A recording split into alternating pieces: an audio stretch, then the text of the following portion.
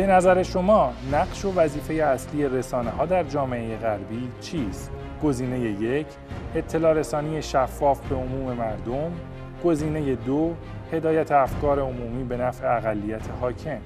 عدد گزینه مورد نظر را به شماره 30855 پیام کنید. ممنون از شما که همچنان همراه ما هستید در به اضافه مستند. مستند خوب رویا ایرانی رو با هم دیدیم. در این بخش از برنامه در خدمت مهمان عزیزی هستیم جناب آقای دکتر محمد حسین سایی رئیس دانشکده ارتباطات دانشگاه صدا و سیما. خیلی خوش اومدید آقای دکتر سایی به اضافه مستند. البته این توضیح رو هم بدم که قرار بود کارگردان مستند رویای ایرانی آقای مصطفی رضوانی رو هم در خدمتشون باشیم که به دلیل کاری که پیش اومد براشون در روز ضبط برنامه در خدمتشون نیستیم. آقای دکتر سایی شما مستند رو دیدید؟ نظرتون در مورد مستند چی هست؟ سلام عرض می‌کنم خدمت شما و همه بینندگان خوب برنامه. مستند رو من دیدم.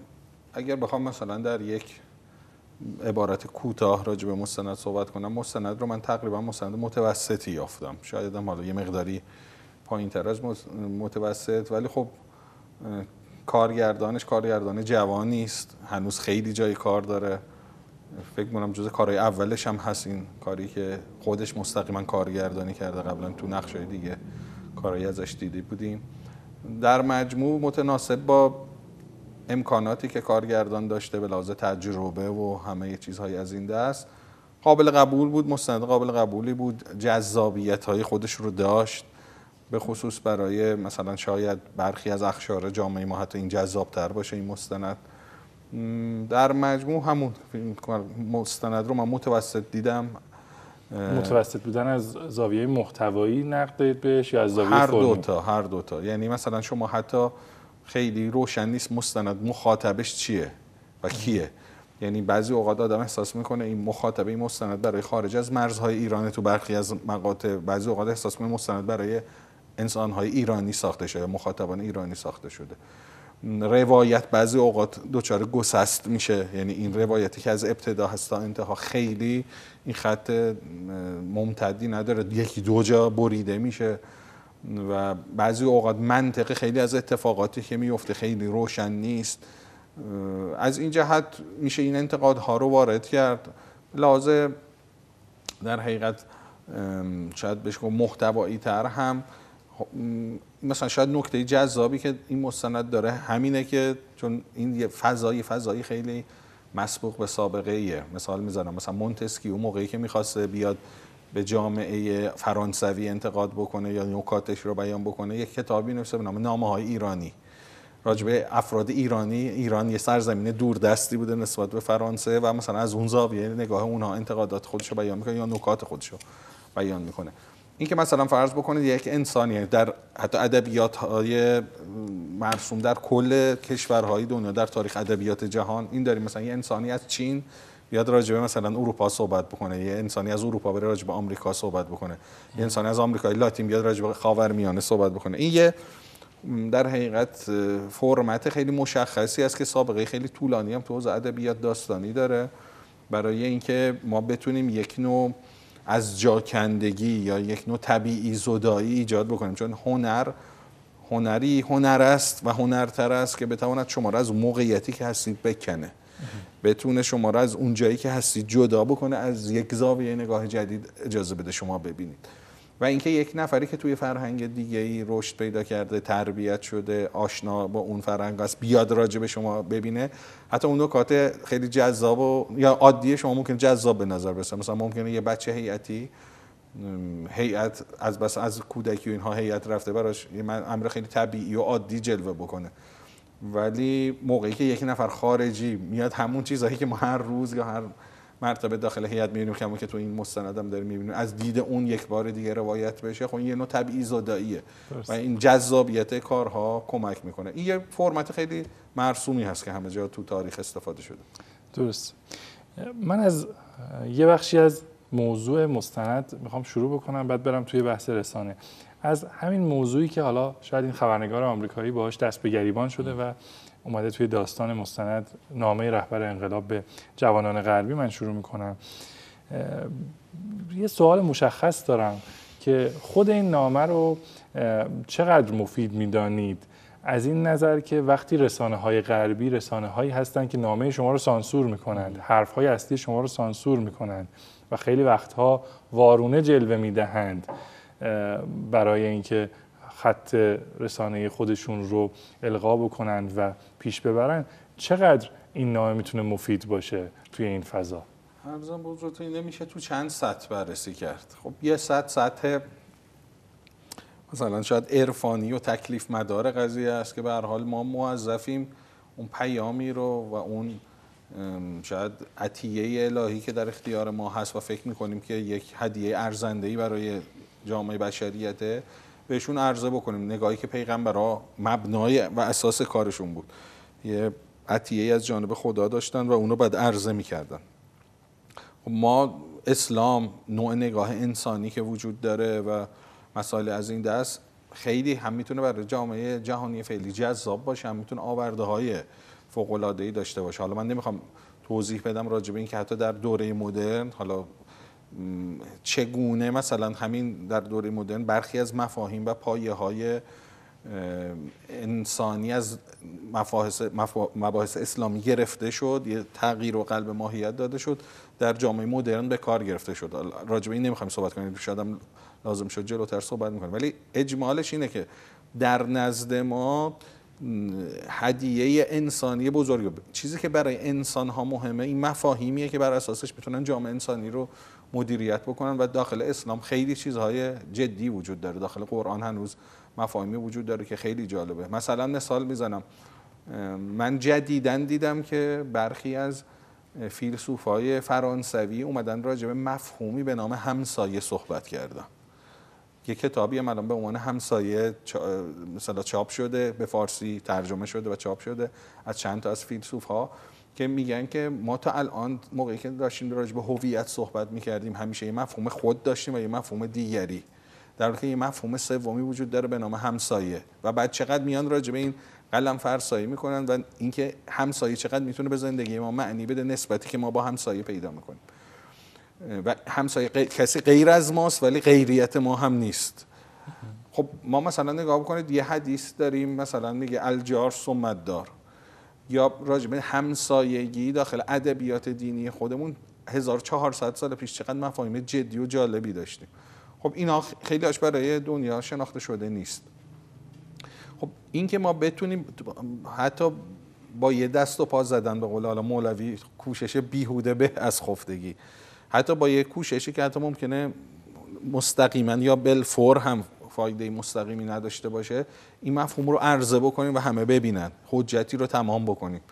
حتی اگر یک نفر هم توجه بکنه حالا طبق اون روایتی که تو جنگ خیبر پیغمبر به حضرت علی میفرماید میگه اگه تو بتونی یک نفر رو حتی یه نفر رو هدایت بکنی از آنچه که خورشید برش میتابه ارزشش بیشتره.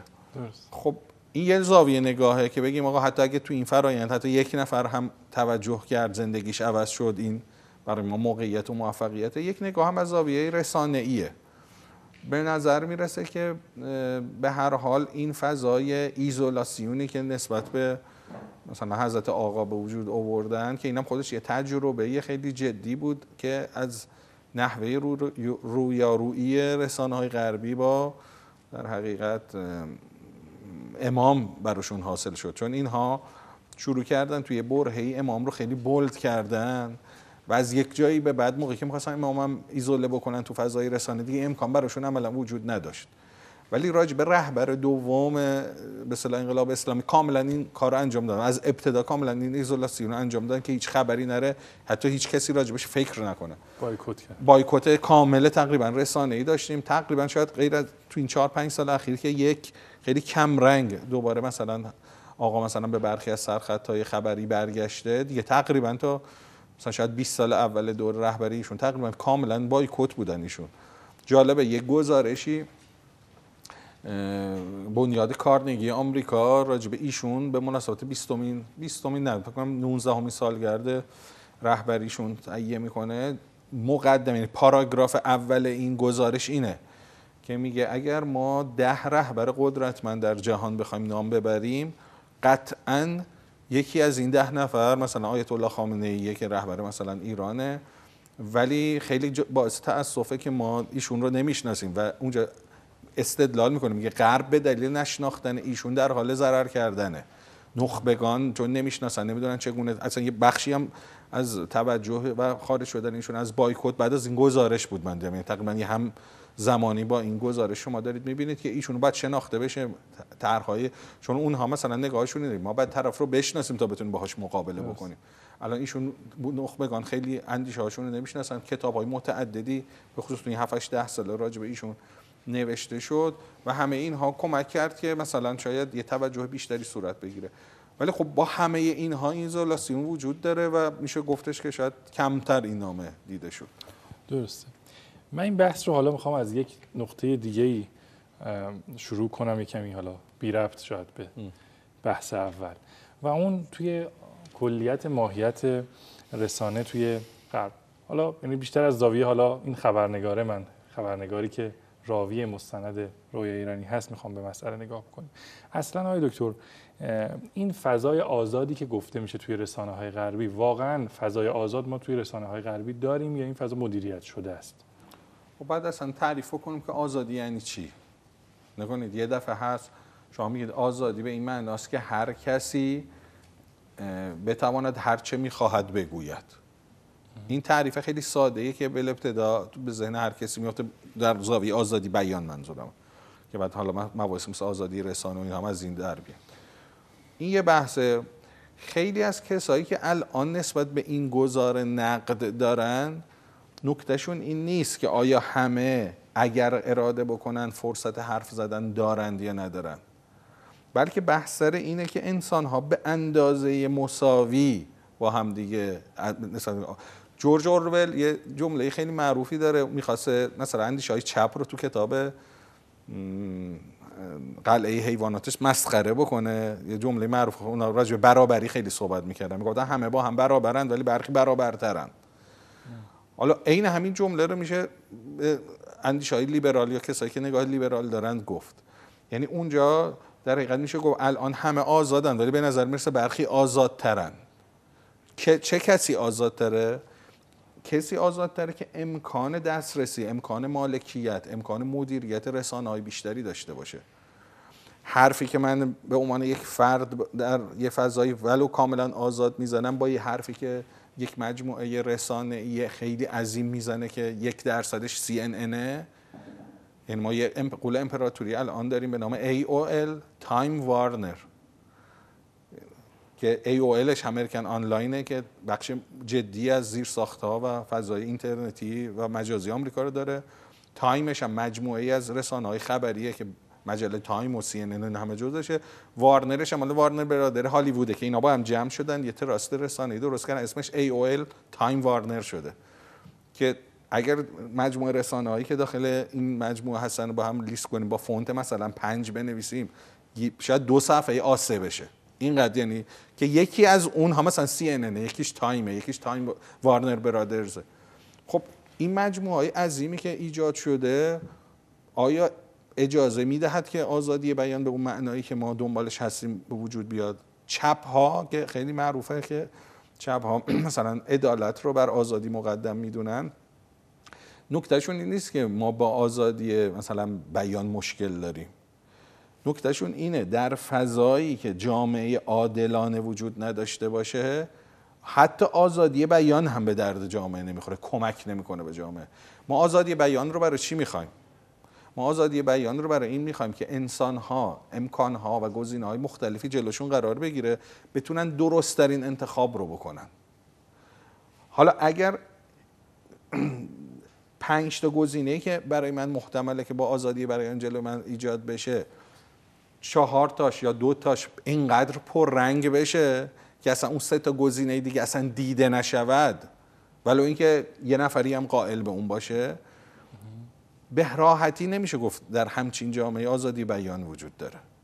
این تازه یک نقدیه نقدیه که ما از موضع چپ ها به این قصه می‌کنیم راجب آزادی بیان یه نکته دیگه هم بگم. مثالی که من همیشه می‌زنم راجب داستان سیگاره در جامعه آمریکا. حالا ممکنه بگم سیگار چه ربطی به آزادی بیان داره؟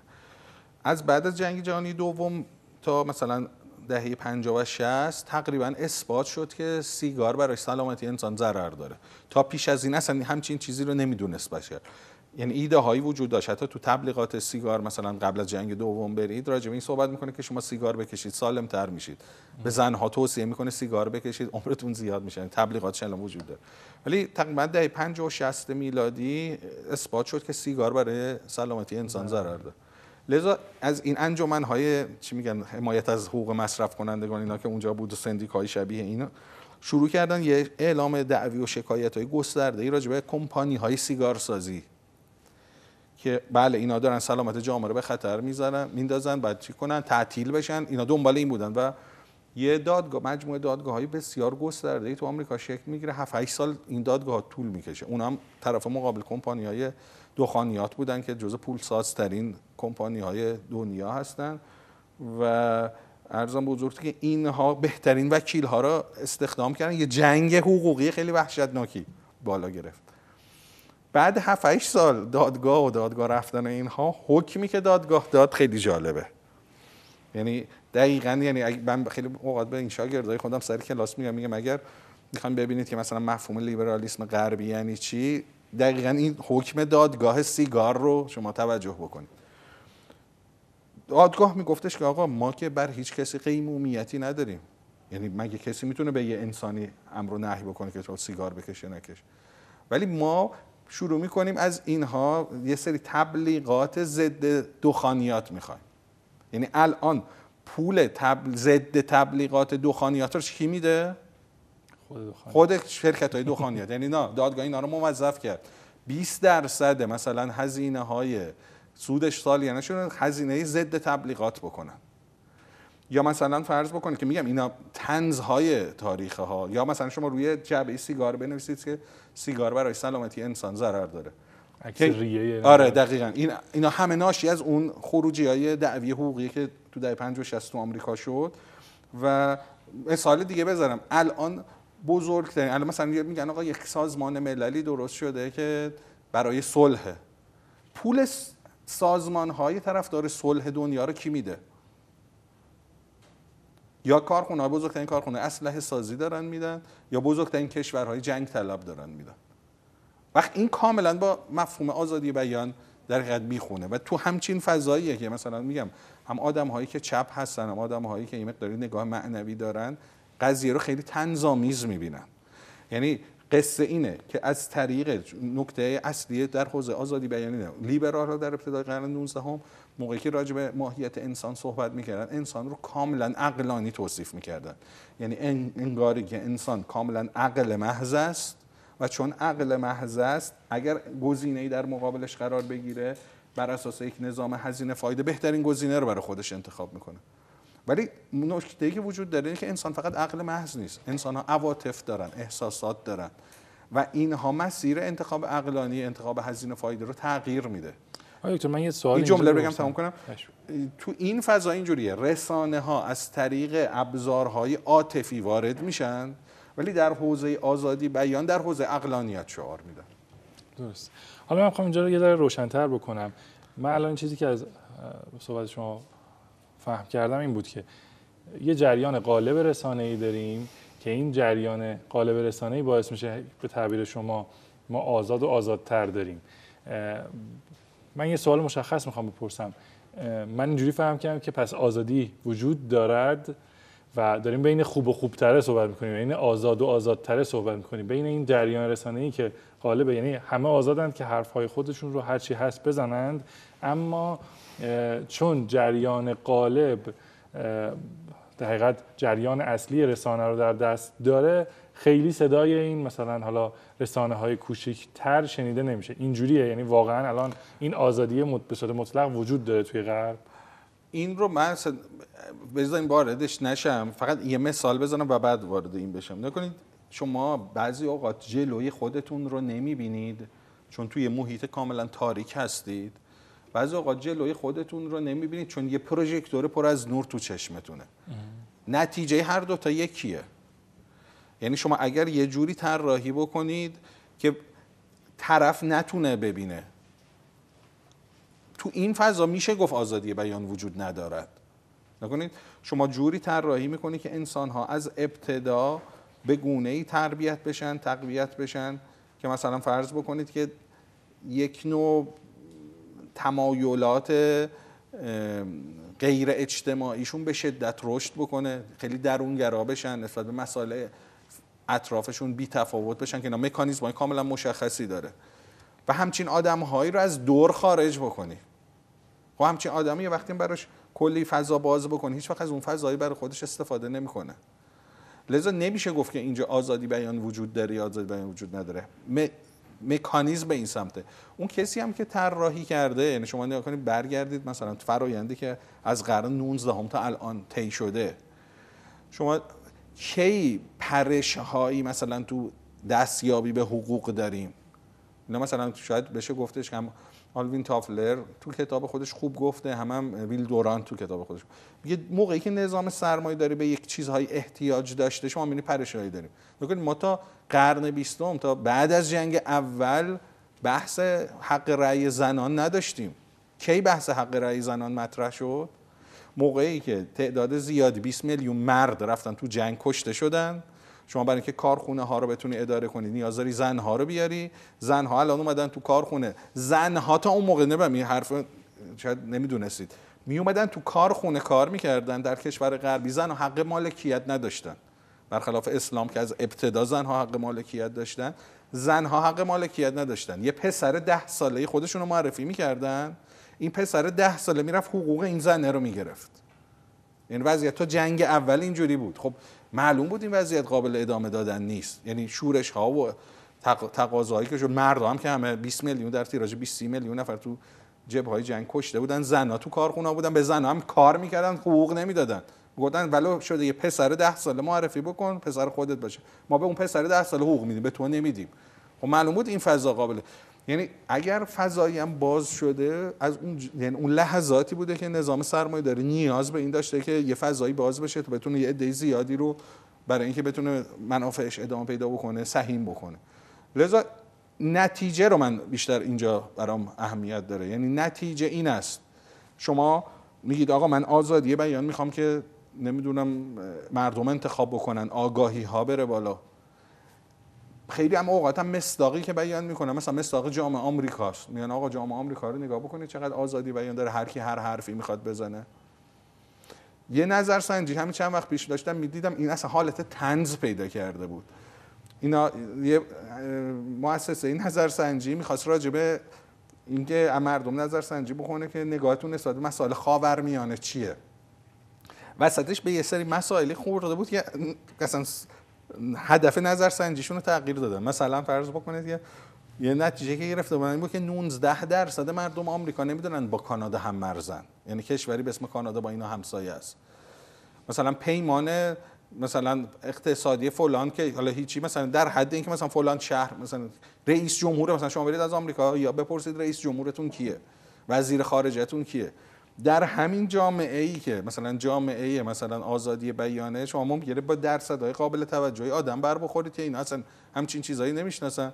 تو خیلی از جوامع دیگه ای که از دید اینها جامعه بسته ایه شما برید مثلا صحبت بکنید شاید اونا از این نوع اطلاعات خیلی بیشتر از یه جامعه آزاد داشته باشن.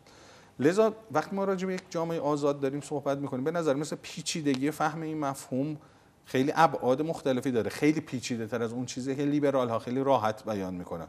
ممنونم از صحبت های شما. بحث ما ادامه خواهد داشت و از بینندگان عزیز هم ممنونم که همچنان همراه ما هستن. بریم با هم دیگه یه بخشی رو ببینیم برگردیم. همچنان گفتگوی ما ادامه خواهد داشت.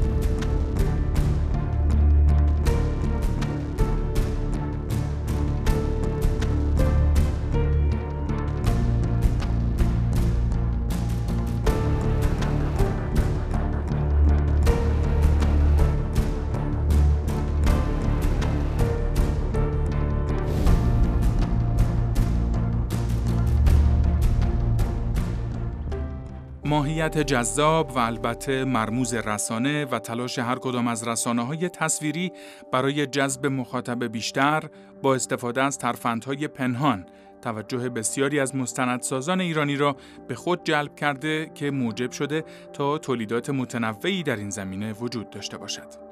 تل اسکرین مستندی به نویسندگی و کارگردانی مصطفی حریری است که با موضوع پرداختن به تاریخچه عملکرد شبکه انگلیسی بی بی سی از ابتدای تأسیس تا کنون به چالش های مختلف این قول ای در رویدادهایی چون جنگ جهانی دوم، حادثه 11 سپتامبر و دیگر حوادث پرداخته است. رسانه ها و پایان دوران یک فیلم مستند تلویزیونی است که به بررسی تاثیرگذاری رسانه ها بر مدیریت افکار عمومی در کشورهای غربی می‌پردازد و نحوه از میان رفتن اندیشه های دینی بر اثر این تبلیغات را واکاوی می کند.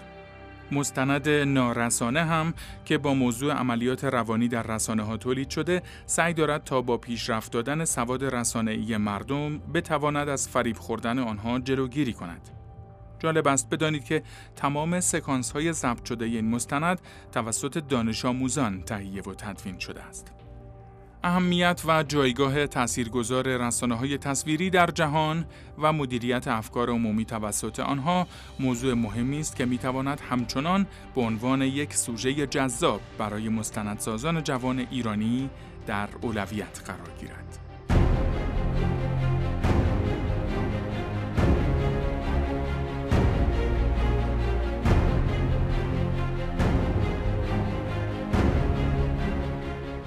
به نظر شما نقش و وظیفه اصلی رسانه ها در جامعه غربی چیست؟ گزینه یک اطلاع رسانی شفاف به عموم مردم. گزینه دو هدایت افکار عمومی به نفع اقلیت حاکم. عدد گزینه مورد نظر را به شماره 30855 پیامک کنید. گفتگومون رو ادامه میدیم با جناب دکتر محمد حسین سایی عزیز. رئیس دانشکده ارتباطات دانشگاه صدا و سیما. بحث رسانه های غربی رو و آزادی توی رسانه غربی تو یک جای خیلی خوبی اومدیم جلو. بیایم بحث رو از یک نقطه دیگه پیش ببریم. آقای دکتر حالا متوجه شدیم و شما توضیح دادید که وضعیت توی رسانه های غربی چطور هست. از این طرف حالا اینکه ما داریم چی کار می‌کنیم شاید یه ارزش ویژه‌ای پیدا می‌کنه و اهمیت ویژه‌ای پیدا می‌کنه که آیا ما واقعا تونستیم حالا رسانه های ایجاد بکنیم در تراز بین المللی که بتونن حرف ما رو منتقل بکنن؟ اصلا همین شاید چند رسانه ای که ما داریم العالم پرستیوی ارزیابی دارید ازشون که این رسانه ها چقدر تونستن موفق عمل بکنن و چقدر جای پا باز بکنن برای اینکه حرف ما رو منتقل بکنند؟ ارزم بزرگتون من خودم ارزیابی از وضعیت رسانه کشور که ارزیابی خوبی نیست. یعنی تقریبا از متوسط هم پایین تریم به سمت ضعیفه وضعیت رسانه کشور در مجموع. دلایل این هم لزوما به سازمان های رسانه بر نمیگرده. یعنی بخشیش مشکلات درون سازمانی در سازمان های رسانه سازمان رسانه که میگم سازمان رسانه بزرگی مد نظرم نیست. ممکنه یه سایت خبری باشه که مثلا 5 نفر 6 نفر 10 نفر آدم دارن ادارش می‌کنن تا سازمان های خیلی بزرگ چند صد نفره و چند هزار نفره.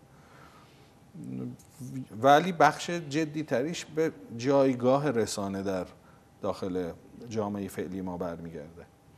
من برخلاف اون چیزی که مثلا شهید بهشتی میفرمود که می‌گفت انقلاب ما انقلاب فرهنگیه و قاعدتا انقلابی که انقلاب فرهنگی باشه زوایای رسانه ای و این جور چیزها هم باید خیلی باید پررنگ باشه. حتی با کشورهای رقیب خودمون کشورهای هم رتبه خودمون حتی رتبه پایین تر خودمون. حتی من بدتر از این بگم با حکومت پهلوی. وقتی مقایسه می‌کنیم اصلا تو سیاست گذاری ها و اولویت گذاری های کشور اصلا مثل رسانه خیلی کم رنگه یه مثال دردناکی اینجا بزنم. از مثلا مهمترین رسانه وضعیت رسانه کشور که رسانه ملی باشه صدا و سیما. سال 57 موقعی که حکومت پهلوی رادیو تلویزیون ملی داشت با دو تا شبکه ولی دو تا شبکه که نبود دو تا یک سوم شبکه بود به تعبیر امروز. یعنی از پنج عصر برنامه اینا شروع می‌شد شبکه دوم فکر کنم 6 عصر شروع می‌شد تا ده شب تا 11 شب از 12 شب برنامه داشت. یعنی 5 ساعت 6 ساعت 7 ساعت دو تا شبکه که اینجوری بود. این دو تا نیمچه شبکه در آخرین سال حکومت پهلوی با اون سطح درآمد نفتی یک درصد بودجه کشور مال این دو تا شبکه بوده. الان که صدا و سیمان تعداد شبکه های استانیش ملیش بین المللیش رادیویی تلویزیونی و الان مثلا دارای مجله روزنامه انتشارات همه اینها هست. حتی مثلا وارد تهیه کنندگی سینما هم تا یه حدی شده. درصدش یک پنجم درصد انتهای دوره حکومت پهلویه. یعنی می‌خوام بگم میزان توجهی که ما شده. یعنی خیلی شما نکنید یارانه هایی که اختصاص داده میشه به حوزه های رسانه‌ای و چیزایی که شبیه این وجود داره. الان در جامعه ما کسی از طریق فعالیت رسانه‌ای یا کار رسانه‌ای به یک تعبیری پولدار نخواهد شد. ولی تو خیلی از جوامعی که قاعدتا رسانه براشون مهمه و اهمیت داره یه کسی کار رسانه خوب بکنه قاعدتا باید بتونه این خود میزان درآمد یه چیز دیگه یه سنجشیه برای اینکه اون جامعه چقدر اولویت براش برای اون کار قائله این تازه یه بخششه. همین الان مثلا این بودجه ناشی از چی میشه؟ ناشی از اینه که اهمیت رسانه بله. رو نمی‌دونن؟ دقیقا اهمیت رسانه رو نمی‌دونن. یعنی مثلا میان با رسانه های رقیب مقایسه می‌کنن. شما مثلا نگاه کنید عربستان اومده یه شبکه زده العربیه. من فکر می‌کنم هزینه ای که عربستان به صورت آشکار و پنهان داره برای یه دونه شبکه العربیه داره می‌کنه تقریبا برابر کل صدا سیمای ماست. یعنی بودجه که و حمایتی که کل نظام جمهوری اسلامی از 200 شبکه صدا سیماش داره انجام میده. الجزیره که شبکه قطره حالا نگیم یه مجموعه چند تا مثلا شبکه هست. شما می‌بینید بودجه که و حمایتی که داره دولت قطر از این شبکه می‌کنه بیش از حمایتیه که حتی به لحاظ درصدی و مقداری و همه اینها چیزی که ما حکومت ما داره از صدا سیمای خودش انجام میده. حالا دکتر من این بحث بودجه رو قبول دارم خودم و این بحث اول بود تازه. آره. حالا می‌خوام بگم این یه بحث کاملا درستیه و بحث کارشناسی زیادی هم شده. بعضی وقتا شاید خب بغض های سیاسی هم توش وارد بله. میشه که حالا این درصد بودجه کم و زیاد هم بشه. اما حالا من می‌خوام سوالم اونجوری مشخص بکنم. مثلا فرض کنید ما یه بودجه چند برابری و بودجه کافی رو در اختیار مثلا پرس و مثلا العالم و شبکه های برون مرزیمون قرار می‌دادیم. آیا مشکل این شبکه های ما فقط بحث مالی بوده یا مثلا عوامل دیگه بوده؟ بحث رسانه ای مجموعه از این هاست نقطه اصلی یک رسانه انسانیه که بتونه تو اون رسانه کار بکنه. اگر وقتی از بودجه داریم صحبت می‌کنیم بحث سر این باشه که فقط برای اون رسانه در اون لحظه که می‌خواد خرج بکنه بودجه رو افزایش بدیم. نه من حتی لزوما منظورم این نیست. من منظورم اون فرایند ده 15 ساله قبلیه که یک انسان باید تربیت بشه که اگه مثلا میره توی شبکه بین المللی کار می‌کنه بتونه موفق باشه. الان جمهوری اسلامی ایران حتی یک روزنامه نگار بین المللی نداره. واقعا جوریه بله. ما روزنامه نگار بین المللی جدی ایرانیه که مثلا داخل باشه نداریم. و این درده یعنی برای کسی که من جامعه ای که مثلا ادعای انقلاب فرهنگی این به این آیا بودجه در این موثره؟ موثره. ولی بودجه به این معنی که فقط مثلا برای فلان شبکه خرج بکنیم. نه من لزوما منظورم این نیست. تمام فرایند قبلش که به خصوص فرایند آموزش میشه. یعنی شما اگر می‌خوای رسانه های قدرتمند داشته باشی باید به فرایند آموزش رسانه ای توجه ویژه‌ای داشته باشی. که الان این حوزه جز ضعیفترین حوزه در داخل نظام آموزشی ماست. من الان داشتم یک جدولی از این انتخاب رشته بچه‌ها تو حوزه علوم انسانی می‌دیدم. 41 رشته رو بررسی کرده بود. رشته های مرتبط با رسانه از این 41 رشته 39 هم بوده. یعنی تمام آدم های ما که امکان حضور در فضاهای رسانه ای دارن ده ها انتخاب جلوتر از حضور در رسانه براشون وجود داره و میرن از اونجا شروع می‌کنن. و خیلی دقیقا. و این آدم هایی که میان این آدم ها خیلی اوقات مهارت هایی لازم ندارن. یعنی الان ما روزنامه نگاری داریم تایپ نمی‌تونه بکنه استفاده از نمی‌دونم ابزارهای ICDL مثلا بلد نیست زبان بلد نیست. اصلا چیزایی که پایه‌ای اصلا یه کار رسانه ای حالا تو حوزه خبری ما حالا بیشتر مد نظر ما. حالا تو حوزه دیگه مثلا شاید سرگرمی و داستانی و چیزای شبیه این هم مثلا خودش یه فضای دیگه داره. در تمام اینها این فراینده که همچین آدمی رو تربیت بکنه وجود نداره. در حالی که مثلا شما می‌بینید که تو خیلی از کشورهایی که وجود داره و دارن براش سرمایه گذاری می‌کنن جدی تو این فراینده دارن کار می‌کنن. این فرآیند هم لزوما آموزش به معنای آموزش دانشگاهی و مدرسه و اینها نیست یعنی شما همین که مثلا بودجه هایی داشته باشه که طرف بتونه کار خورده رسانه ای انجام بده ولی معلوم باشه سلسله مراتب کار رسانه ای چیست. این اول باید مرحله الف انجام بده بعد مرحله ب تا بعد 32 مرحله برسه مرحله ی رو انجام بده که مثلا یه کار تاپ رسانه ایه همه اینها در حقیقت باید دست به دست هم بده تا اون انسان رسانه ای درست بشه. این که ما بگیم آقا ما الان رسانه یا آدم رسانه ای داریم که یا مستندسازی حتی داریم که به صورت جدی می‌تونه فضای دنیا رو عوض بکنه. الان نداریم. آیا بالقوه توانش رو داریم؟ بله. ایران یک سرزمینیه که همیشه مورد توجه بوده حرف جدی داره.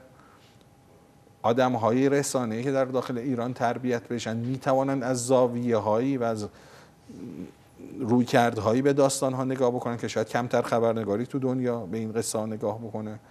ولی خب ما چیکار کنیم؟ تو حوزه مثلا حوزه الان یمن یه حوزه مثلا پر از بحرانه. خبرنگار ایرانی ما کم توش می‌بینیم. حالا افغانستان حالا یه موقع اینجوری بود. یعنی می‌خوام بگم که این شاید یه مقداری ضعف تو این حوزه ها به صورت جدی وجود داره که به نظر من حتی میشه با یه فرآیند ده ساله همه اینا رو ترمیم کرد. آیا تو توی چند سال اخیر تمرکز خیلی از فعالان رسانه‌ای اومده توی فضای مجازی و توی این حوزه فعالیت ها بیشتر شده. ارزیابی خود شما چیه؟ آیا سوالم این هستش که آیا واقعا این رسانه های اینترنتی و مجازی فراگیرتر از رسانه های سنتی شدند و تونستن جای این رسانه های سنتی رو بگیرن؟ آیا اهمیتشون بیشتر شده؟ چیزی که ما بهش رسانه های سنتی میگیم حالا دسته بندی که اگه بگیم رسانه سنتی مدرن و پست مدرن رسانه سنتی رسانه هستن که پیش از دوره مدرن وجود داشتن رسانه های مدرن رسانه های دوره مدرنن و رسانه سن پست مدرن عموما رسانه که دهه 80 میلادی به این ور تأسیس شدن و ما نام می‌بریم. اگر بخوایم راجع به فراگیری و نحوه استفاده و میزان استفاده بخوایم بحث بکنیم که مثلا در آمریکا سال 2015 رو نقطه عطف معرفی کردن. به این معنا که میزان استفاده مردم از device های مثلا مرتبط با فضای مجازی از میزان استفادهشون از تلویزیون به عنوان محبوب ترین رسانه تاریخ بشر عبور کرد. یعنی ساعت استفاده از این device ها از ساعت استفاده از تلویزیون به معنی broadcast ش عبور کرد. تو کشوری مثل آمریکا. حالا تو جامعه مثل ما هنوز این اتفاق نیفتاده. ولی اگر بخوایم راجع به نوع استفاده که آدم ها می‌کنن بخوایم بررسی کنیم به خصوص تو خیلی از حوزه‌های رسانه ای نکنید انسان ها وقتی از رسانه استفاده می‌کنن می‌خوان از محتوای که در داخل رسانه هست در زندگی روزمرهشون همین الان یا چندی بعد استفاده بکنن. بنابراین نیاز به اطلاعاتی دارن که این اطلاعات قابل اعتماد باشه. بنابراین رسانه ای که می‌خواد مبنای حرکت خودش قرار بده درش اعتماد جدیه. ما الان در فضای مجازی عموما این اعتماد و رسمی بودنه هنوز دچار خدشه است. یعنی بالاخره یه نفر یه چیزی میگه. اون چقدر قابل اعتماده؟ اکنون شما حتی یک رسانه مثل تلویزیونه مثلا یا شبکه خبری تلویزیونی وجود داره شما حتی با روی کرده اون مثلا رسانه مخالفی. ولی نسبت خودت رو با اون می‌دونی. حتی اگه بخوای از محتوای اون رسانه هم استفاده کنی احتمالا چون تنظیم کردی رابطه خودت رو با اون نقطه جایگاه دو طرف برای دو طرف مشخصه. می‌دونی چگونه بعد از محتواهای اون در زندگی روزمرت استفاده کنی. ولی برای عموم انسان ها تو فضای مجازی این اطلاعات نیست. بنابراین حتی اگر مثلا این فضای مجازی رو به یه اقیانوسی تشبیه بکنیم یه ایده جدی وجود داره که ما تو این اقیانوس به ناخداهایی نیاز داریم که این ناخدا ناخداها در حقیقت بیان آدم های مختلف تو این طوفان و دریای مواجی از در حقیقت فضای مجازی بتونن راهنمایی بکنن. و الان شما نگاه بکنید عموما پر طرفدارترین یا یکی از پر طرفدارترین جاهایی که مصرف میشه تو فضاهای مجازی جاهاییه که یا مراکزی یا نقاط و نوده که اینها میان بقیه اطلاعاتی که تو بقیه فضای مجازی هستن توی بازارهای دیگه مرتب می‌کنن تو این فضا هم یه اعتمادی تونستن برای خودشون نسبت به کاربرها ایجاد بکنن و اونو عرضه می‌کنن مجدد. این مثلا یه فضای جدید. حالا خود این ارتباطات گروهی و شخصی و پیام رسانی و اینها هم که ایجاد شده خودش هم یک فضای دیگه ای رو داره. خب اونجا اینجا دیگه انتشار اطلاعات نیست که اهمیت داره. اون گفتگوهاییه که داره صورت می‌گیره وقت شما داخل گفتگو دیگه حالا شاید اعتماد خیلی چیز نداشته باشه. بالاخره شما حتی با یک کسی هم که خیلی اعتماد نداشته باشید می‌تونید وارد یه فضای دیالوگی بشید و گفتگو بکنید و نتیجه خودتون رو بتونید بردارید. ولی در نهایت این جوریه که هنوز چه در حوزه نظری چه در حوزه عملی به نظر می‌رسه که رسانه های اجتماعی به این نقطه خاصی نرسیدن که ما بتونیم بگیم که اینها الان دارن این فضا رو تقریبا تقریبا هر پنج سال اینا دچار یه تحول شدن از قرن 21 به این سمت. شاید سه تا موج رو پشت سر گذاشتیم تو این حوزه. و الان بازم پیش بینی میشه که موجهای دیگه ای داشته باشیم و اینکه آدم ها نمی‌تونن توی مکانیزمی به این رسانه ها عادت بکنن خیلی سخت می‌کنه برای کار برای عادی که چگونه موضع نسبت به این ایجاد بکنن و بتونن استفاده خودشون رو ببرن. درست. آقای یه مسئله که گفته میشه اینه که وقتی رسانه های ما به خصوص همه رسانه های داخلی کشور گفته میشه که نمیرن سراغ جذابیت های حالا کاذب و جذابیت های محتواهای حالا غیر اخلاقی و اینها رو کنار می‌گذارن. توی یک رقابتی با رسانه های جهانی یه بخشی از جذابیت های مهم در نظر مخاطب رو کنار گذاشتن و اینطور عنوان می‌کنن که اصلا همین باعث می‌شود که مثلا ریزش مخاطب به وجود بیاد و گرایش مخاطب مثلا فرض کنید که به های دیگر غیر از حالا رسانه های داخلی شد چقدر این حرف رو درست می‌بینید آیا واقعا این گزاره هایی که گفته میشه گزاره های درستیه واقعا؟ به هر حال تو عمل تا یه حدی این رو می‌بینیم. یعنی تا یه حد زیادی هم در حقیقت اینو می‌بینیم. یعنی به هر حال رسانه هایی که به خصوص تو برخی از حوزه های مثلا جذابیت شاید حد و مرزه و خط قرمز روشنتری نسبت مثلا به رسانه های داخلی ندارن. دستشون خیلی باز داره قاعدتا اونا جذابیت بیشتری دارن مخاطب بیشتری هم می‌تونن جذب بکنن. ولی یه جمله معروفی هست که همیشه میگه محدودیت خلاقیت میاره.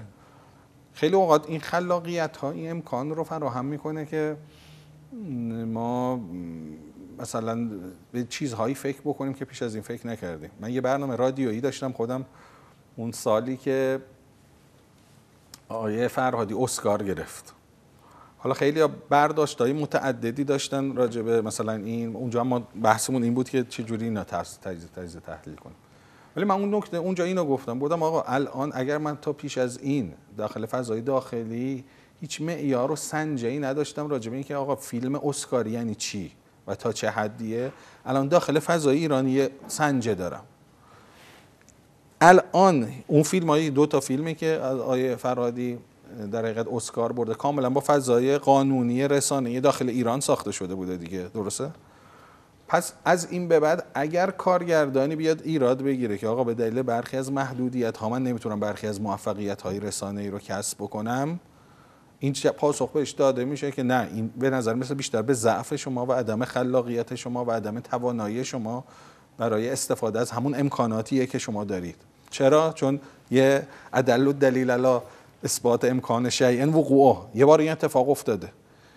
لذا تو همین محیط ها تو همین چیزها زوایایی وجود داره که کمتر بهش پرداخته میشه. نکنید مثال می‌زنم شما ممکنه تو اون وقتی جذابیت های حالا به تعبیر ما غیر شرعی توجه بکنیم خب این جذابیت عموما از نوع جذابیت های مثلا فرض کن ارتباط دو جنس مثلا با همه اون هم مثلا در حد مثلا یک نوع ارتباط عاشق و معشوقی از این جنس معمولی که ما هممون می‌شناسیم. ولی شاید مثلا مثال می‌زنم ما راجع به ارتباط فرزند و مادر فرزند و پدر.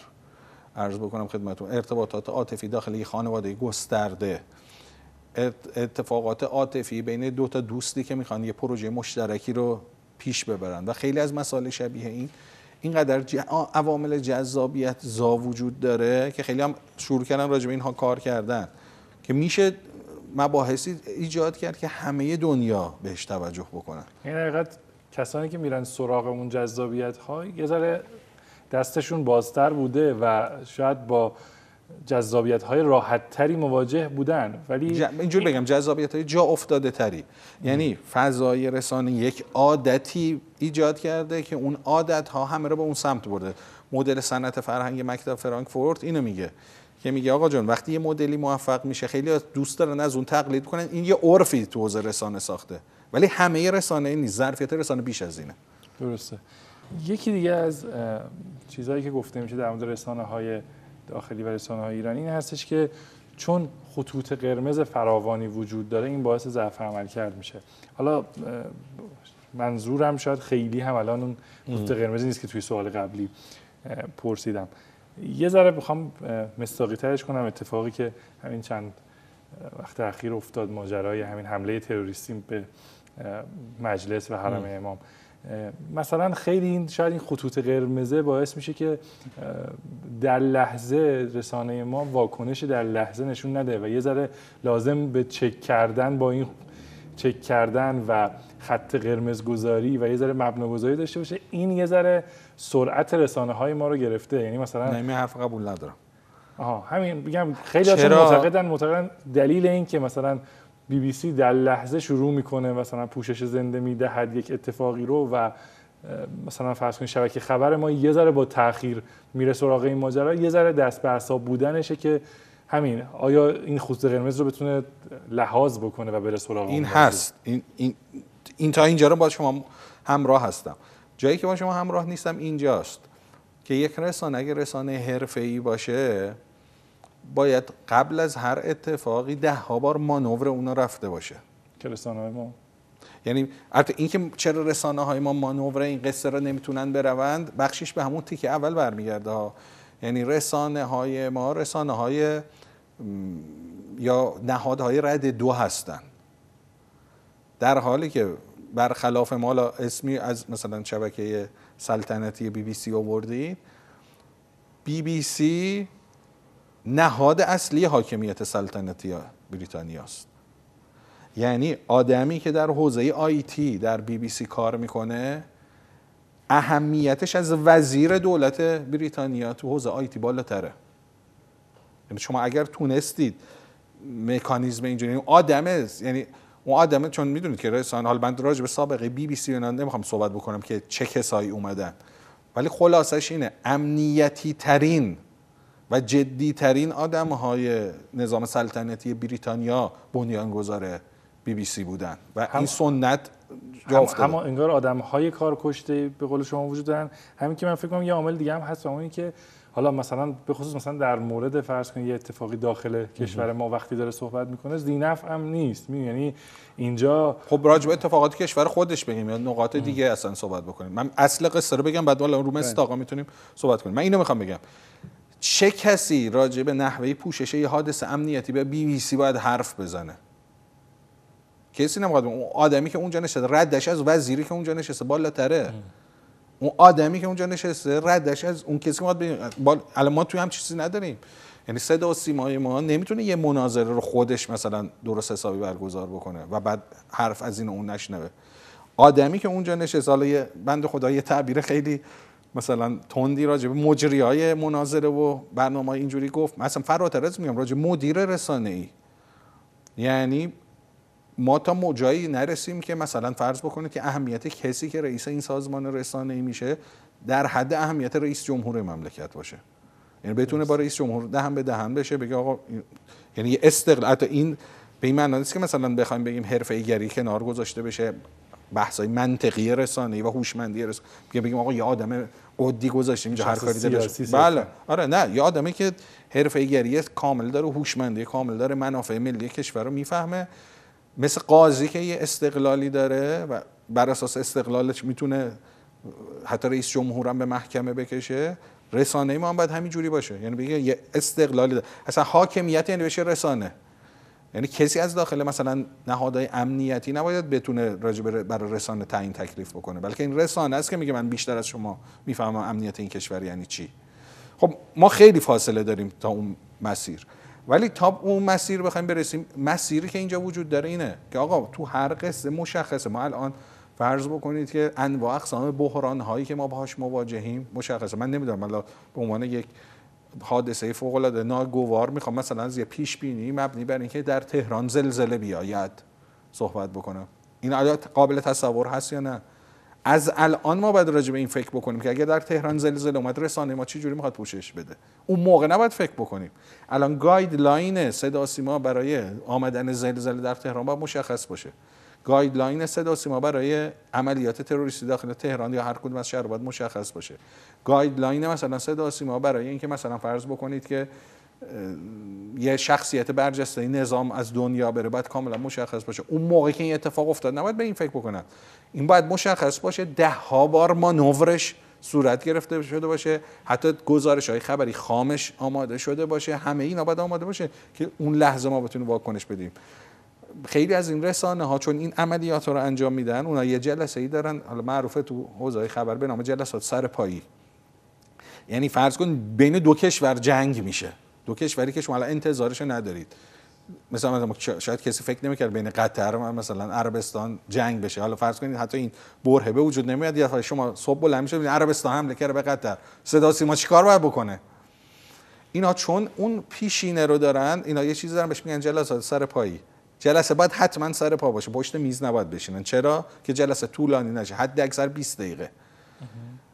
مسئله فوق العاده حساس و مهم و تو 20 دقیقه به بحث می‌ذارن تا یک ماه بر اساس اون خطی که تو همون جلسه سردبیرای ارشد با هم دیگه به توافق رسیدن همون خطا میرن. چرا می‌تونن این کار انجام بدن؟ به چند دلیل. به این دلیل که این آدم های اصلی رسانه ای اینا قبلا 20 سال 30 سال با هم دیگه کار کردن. به قول امروز یه فه هر کدوم میگن هم بقیه تا فرهزاد میرن یعنی فقط با اشاره با هم دیگه کار می‌کنن. اصلا لازم فراتر از اشاره به هم بگن. و در ثانی موقعیت های سخت رو ده ها بار مانورش رو تمرین کردن. و چون تونستن تمرین بکنن می‌تونن خیلی سریع تصمیم بگیرن تو خیلی ممنونم خیلی استفاده کردیم. از شما ممنونم که همچنان همراه ما هستید. با دکتر سایی خداحافظی می‌کنم. در بخش بعدی من همچنان همراه شما خواهم بود.